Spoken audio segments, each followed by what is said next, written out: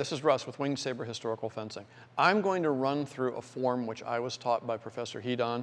It was something he literally created off of a karate template just to give you an idea of how to change your hands on the axe. This is a very important skill because if you're playing with an axe against somebody with a sword, they are going to close on you. They're going to poke you, they're going to cut at you, and as soon as they get past the head, they're going to assume, oh, hey, I've won. And if you can't change your hands on the axe fluidly to use all of the parts of the weapon, they'll be correct.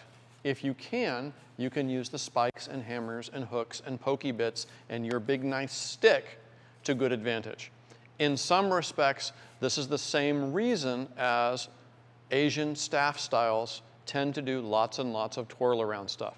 The twirl around stuff may not be exactly for combat technique, but it's important to be able to change your hands on your spear, your staff, your pole arm at will so that if somebody is coming in close, you have the ability to make this an any range weapon rather than a one range weapon.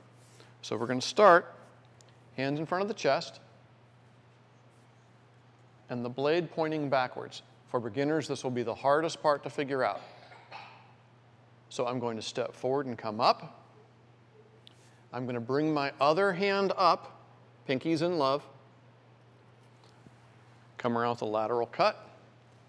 Step back, vertical cut. Step back, I'm in the same position on the opposite side. I come up. I bring my hands up, pinkies in love. You'll need that later when you're trying to figure out, wait, what's my hand position? Pinkies in love makes things much easier to remember. So that's the basic beginning part of the form. I turn to the side to ward off a thrust. Notice my hand is to the outside of the stick, so I don't get it cut. And then I jump and I bop the guy in the noggin. So I'm going to do the jump face on so you can see exactly how it works. I'm here. I move to ward off the thrust. Now I'm bringing this down for the sake of the camera, but my arms are up high. I'm going over top of the obvious block that's going to happen. And the hop is intentional. I am bringing the weight of the axe in over and beyond where the typical blow would come in. Not this, that. Because after your thrust has been ward off, if you're competent at all, what are you going to do? You're going to recover from your lunge and get the heck out of there, right? That part is designed to teach you you have distance. In some ways, it's not dissimilar to doing a balestra lunge in standard fencing. So, work the form. I'll run through it one more time facing the camera so you can see it. And notice all the different hand and position changes that go on in the process. Notice I left a step out here, just making sure the camera can see everything.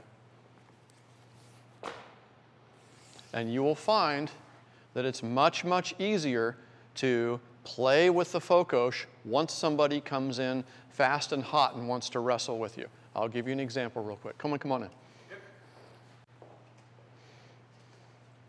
Coleman's going to cut, and I'm going to slap the weapon away, and he's going to engage me in close quarters. Yep. So he cuts. Cut one. I slap it away. He comes in. Why? Look at what he's got. He's got a point, he's got an edge. All he has to do is turn this way and game over, right? So as he comes in to use his long edge and I'm out here, I have to do something.